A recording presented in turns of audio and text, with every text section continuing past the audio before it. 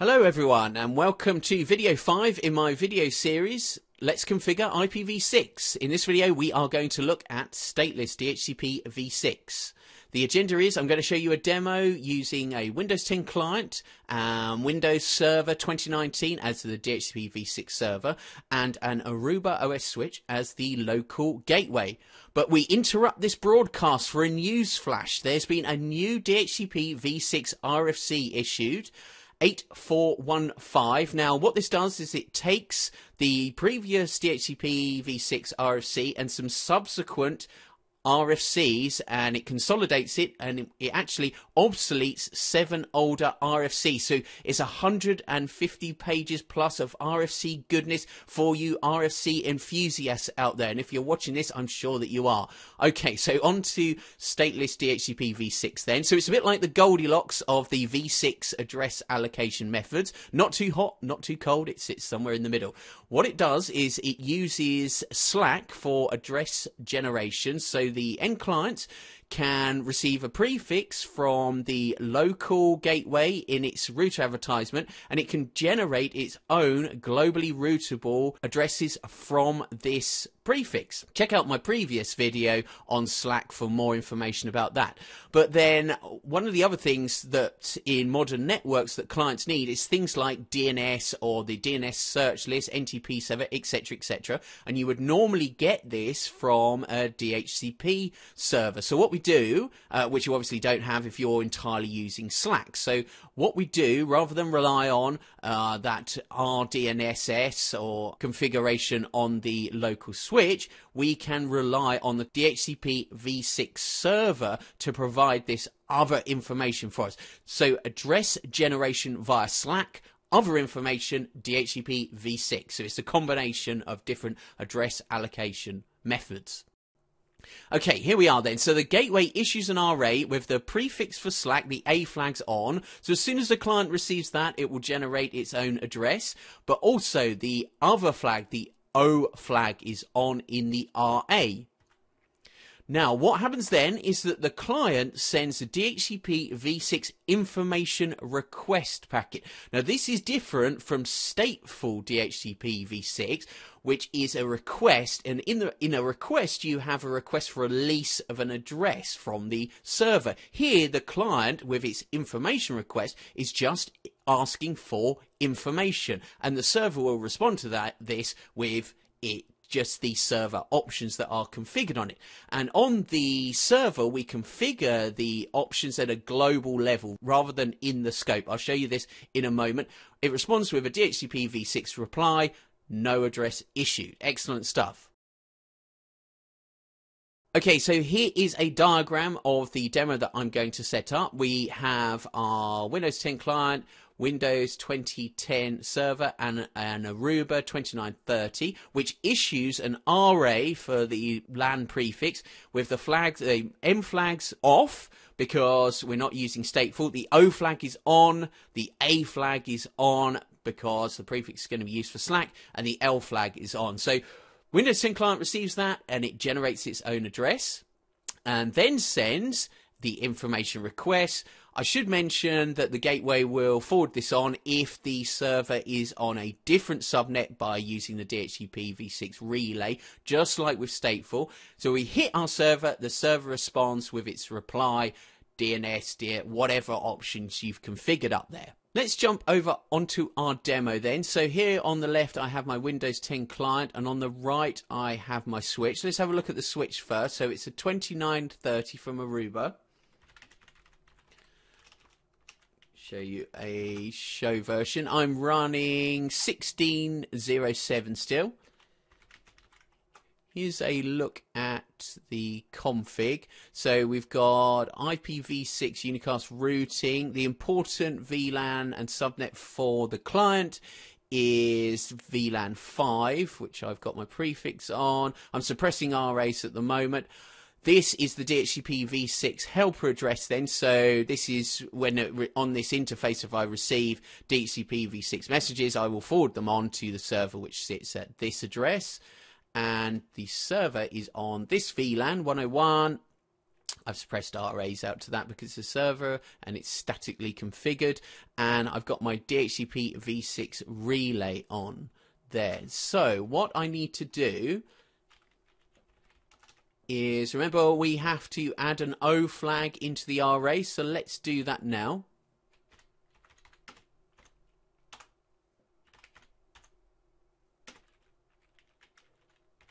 NDRA other configuration. There we are. So I've added that in, but the just check that VLAN 5. So we're still suppressing the RAs though, so no change. Over on the Windows 10 client, so how is this configured? Well, it's just like DHCP v6 stateful. So if we go to, or SLAAC, so obtain an IPv6 address automatically. Okay, so we'll close that down and I've got Wireshark running here. I've filtered on IPv6. One of the things I wanted to show you, so it's configured for DHCP v6 stateful or SLAAC with that setup, which says automatically obtain your address. It doesn't determine which one. Now, the thing is with Windows is that this is newly booted Windows uh, client and I've noticed that the default is that it will start to send solicit messages. So it will try to obtain an address from a DHCP v6 server, even though it hasn't received an RA from the local gateway yet. So it doesn't know whether it's supposed to just use SLAAC or if it should be using uh, stateless. It goes ahead and tries to uh, kick off with this solicit the stateful process. And um, that's a bit of a complication, which I'll show you in a moment. Okay, so bear that in mind. Let's jump onto the server. Okay, here's my server. So we go to Tools, DHCP. Open this up for you. Okay, so I've got V6 and V4. We've got the green ticks next to them. Now, previously I had this scope active, so that was when I was using uh, stateful, and within the scope you have the scope option. So this is the information that we want to send to the client.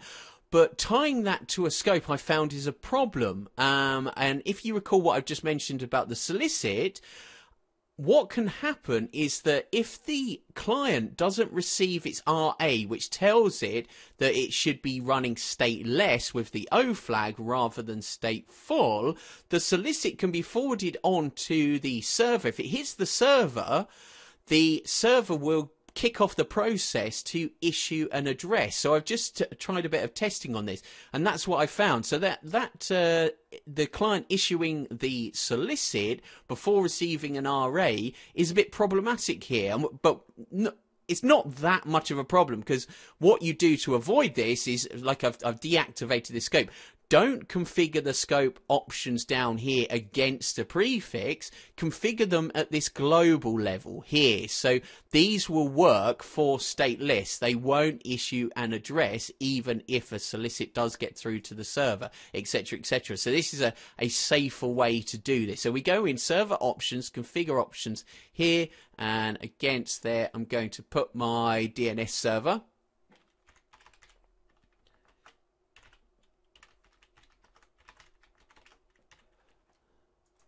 Does a check for it.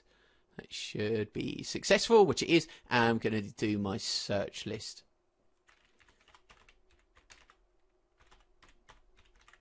So null06.com. Let's add that. Apply. Excellent stuff. I can actually delete that scope off. So let's get rid of that. We're just going to go with the globals then. Now the globals will over can be overridden in a scope if you've got a combination of things on, on your server, etc., etc. But from what I saw, it's safer if you just want SLAAC and stateless to work with the server options. Configure them at a global level. Okay. Let's go back. So this is all ready to go. Those are those are set up. So we need to go back over to our devices and I want to let's check what's going on with the activity down here. Uh, open up Visual Studio Code, and I'll just prove that we haven't actually done anything yet. nothing's got through. So we've got no uh, DNS server. We don't have a search list yet. And if I check for an, an address, we've only got our link local address in there, okay? Because we haven't received an RA and the solicits aren't going to be doing anything. There's no uh, prefix associated with my options up on the server. So what do I need to do? We need to actually start issuing an RA. So bring up uh, Wireshark then. There you can see, look, the solicits are firing off. I'm not getting a response. Uh, let's go. I'll leave it uh, with the IPv6 filter. VLAN 5. So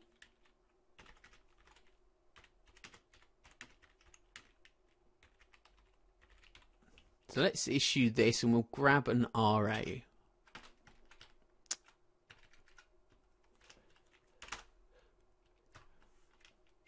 It's quite an awkward command to try to get right. Okay, uh, there we are.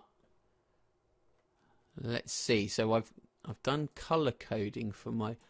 Uh, stop this! Come on. Right. There's my RA. Open it up so you can see. Right, other flag. Excellent. M flag's off other flag is on. So that's coming off of the configuration on the gateway. We've also got the prefix down there for SLAAC with A uh, flag on and L flag. So what would we expect over here? We should, if we run the getnet IP address, and there we are. We've got our addresses which are generated by SLAAC. If you're not sure about these two addresses, Check out my previous video, I go into details about that. Now, go back to Wireshark. I do a filter on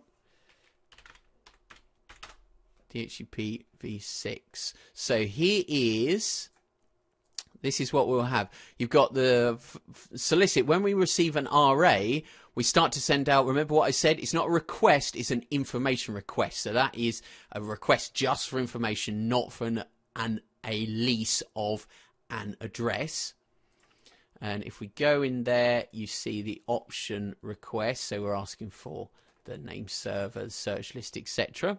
And we've got our reply. So here is our reply from our server. And there we are. So there's our, so you can see the information here. We've got the name server, correct. And the search list there we have to expand that for the search list. Excellent. And there is no address in there. So if we jump over to verify that let's have a look here. Okay. As you can see we've picked up the uh, server 2019 as our DNS server. And let's uh, have a look at our search list Excellent, null 06. So what that means is that we should be able to ping off subnet and use resolution for Win19-DC1, the name of the um, Windows Server 2019. Let us give that a go. Excellent stuff. So we're all working. Uh, that is stateless DHCP v6 in action. To summarize then, stateless DHCP v6 combines SLAAC for address allocation and DHCP v6 server options so we don't have to rely on the local gateway configuration like RDNSS etc. Another good thing is that you've got more options that can come from rather than just using the search list or the RDNSS in the switch configuration, you have more options and they're extensible. So you've got the advanced option on there. Also, I believe it's more scalable because you're consolidating your configuration for your D- DHCP v6 rather than relying on every one of your local gateways to be correctly configured. You can just have a cluster of centralized DHCP v6 servers for all of your clients. They just need to be able to reach them and then they'll be issuing the options. So it's a good combination, I think, between the dynamic address generation plus the options. But that's it for my address allocation video. So I've done static, I've done stateful and stateless DHCP v6, and I've done SLAAC. I think I'll move the series on in 2019 and have a look at other things like some first hop security.